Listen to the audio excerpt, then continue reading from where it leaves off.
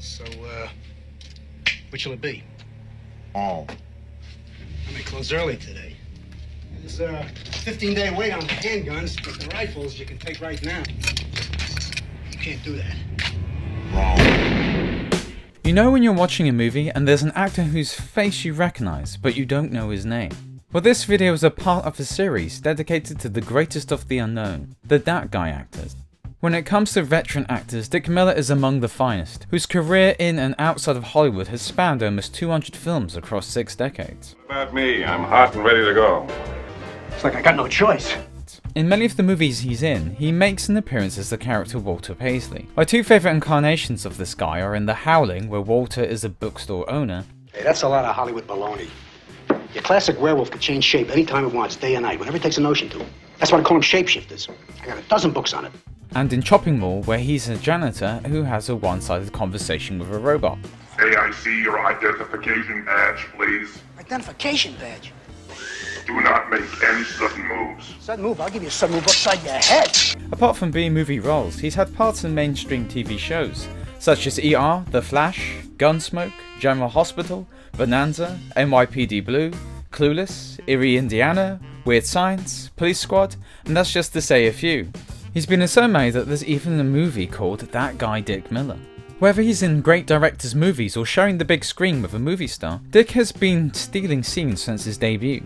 Director Joel Dante cast him in pretty much all of his movies, where one of his most memorable roles will be that in the original comedy horror Gremlins. Dick plays Murray Futterman, the patriotic war vet who is a little out of touch with modern times. These goddamn foreign cars, they always freeze up on you. You don't find American machinery doing that. And as you may already have guessed, Dick returns to repeat the role in Gremlins 2. Do you know they got Russian guys driving cabs in this burg? I mean, what if somebody got into a cab with a briefcase full of atomic secrets or something like that? In the 1978 version of Piranha, he plays a sleazy resort owner called Buck Gardner. He has a funny scene with Robert Picardo as an impatient garbage man in the burbs. the healing capabilities of crystal and the, the laying on of hands. You want to try laying on some hands? In all the right moves, he makes an appearance as the angry teacher in the auditorium. Dick has a quick conversation with Kurt Russell as an impound clerk in the crime thriller Unlawful Entry. He's an MP at the start of the action comedy The Dirty Dozen, where Dick and five other actors from that film also had roles in the kids' movie Small Soldiers, where he plays the delivery guy Joe. How to make a success of your small business. My suggestion was torch the place. Not a good idea. Arson forensics nowadays is very sophisticated. In the adventure thriller The Hole, he makes an appearance as a pizza delivery man. In the 80s kids sci-fi classic Explorers, he's Charlie Drake, the helicopter pilot. In the comedy Matinee, he plays one of the two fake protesters who are trying to stir up interest in the movie Mant. Have you seen the movie? No, I haven't, miss. Uh huh. I haven't been down and taken a tour of the sewer either, but I know what's down there.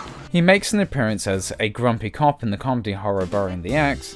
In the action comedy Innerspace, he makes a trademark appearance as a nosy cab driver. I don't live here. A one-nighter? Will you shut up? Get back in your cab, will you? In the comedy Rock and Roll High School, he's a random police chief. And to finish off, Dick plays Pete, the owner of a diner in Martin Scorsese's classic comedy drama After Hours. After making this video and rewatching a lot of his scenes, it's clear to me why Miller remains so beloved by his fanbase, and why directors love to cast him for all these bit roles. Every scene he's in is either funny or memorable. He's from South America. Yeah. He's got a nice tan. His on-screen presence epitomizes what movie fans want, and nothing beats watching compilations of his best scene stealers. So now that you know who he is, when you see his face on screen, you can say, oh, it's Dick Miller. One flamethrower.